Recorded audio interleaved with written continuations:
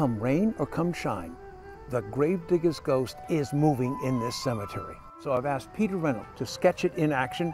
I'm seeing footprints are not mine. This place is being, giving me the creeps. Oh, Rosie, come back quickly. That's dangerous. You can't go up there. I think I saw the gravedigger's ghost myself.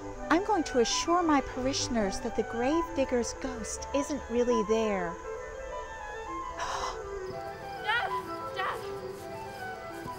Jason Fairbanks from, from 1801? Uh-huh. I think the gravedigger's ghost must have found it in the grave. Maybe I should alert my constituents of this and the House of Representatives?